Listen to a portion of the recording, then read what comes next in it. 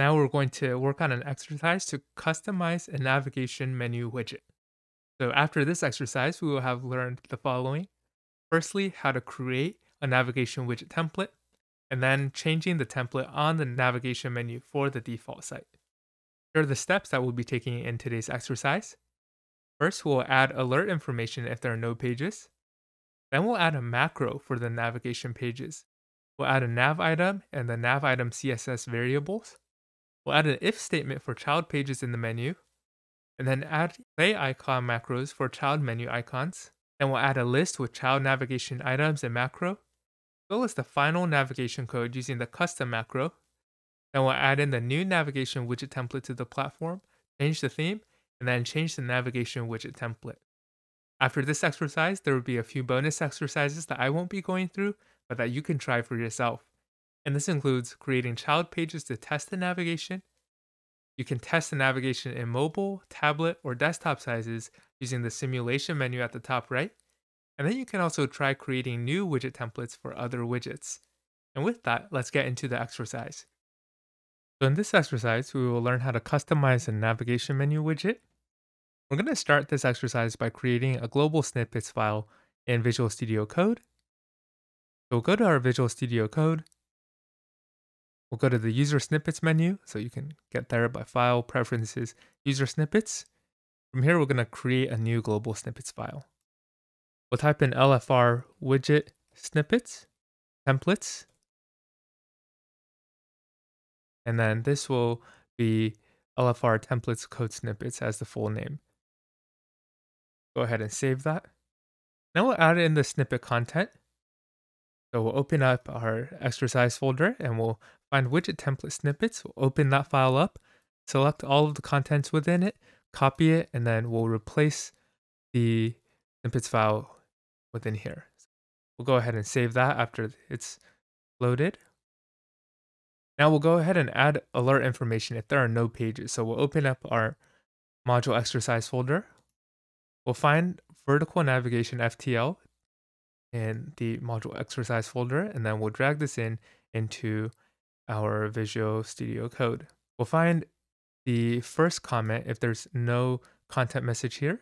We'll replace this by typing in LFR widget, and then we'll choose 04 if no content message.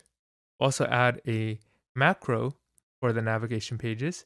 And so we'll find the comment at the very bottom that says insert 05 build navigation macro here. We'll go ahead and type in LFR widget, and then we'll replace this with 05 build navigation macro here. You can go ahead and save this for now.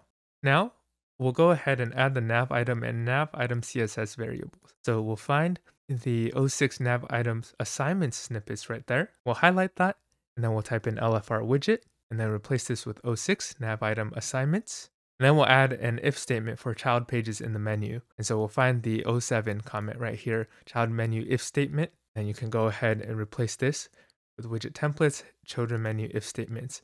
And we'll see that we're using the if command statement to see if there are any children in order to display content. Now after this, we're going to add clay icon macros for child menu icons. And so right here within the first assign block, we have a comment 8 opt clay symbol macros snippet. And then we'll go ahead and replace this by typing LFR 08 right here. And so what this is doing is creating two span classes, one that's open, one that's closed. And then this will, the caret right will be the closed position. And this is an arrow pointing to the right that when you close it, you can then expand it into a caret at the bottom. So we'll be able to display items when it's opened or closed. Now we'll add a list with child navigation items. So we'll go ahead and find this comment right here. And then we'll use the snippet LFR which is 09.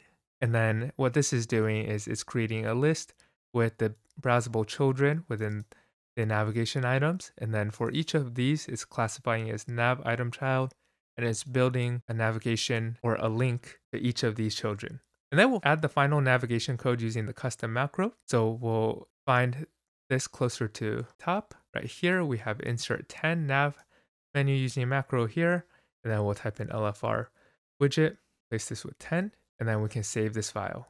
Now we'll have to add the new navigation widget template to the platform. So we'll go ahead to the default site in our browser, open up the site administration, to design, widget templates, and then we'll go ahead and click add at the top right, and we'll choose a navigation menu template. So we'll have to scroll down to find that. For the name, we'll type in vertical navigation template. And then within our Visual Studio Code, we'll copy the completed template. Then we'll replace this within the editor. And we'll go down to the bottom, save. Now we'll go to the site builder in the site administration, go to pages. Next to public pages, we'll click the gear configuration icon. Then we'll click change current theme. Then we'll make sure that this is on the classic theme. Click save. We'll change the navigation widget template so within Home in our site administration panel, click that. We'll click the options menu at the top of the navigation menu. So right here, we'll click configuration. And then for the display template, we'll drop this down. And then we'll choose vertical navigation template, which is what we selected just now. We'll click save. We'll close the pop-up. And then we'll see that our navigation menu displays vertically now.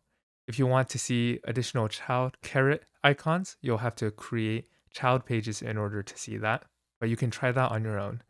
And so this is it for creating a widget template.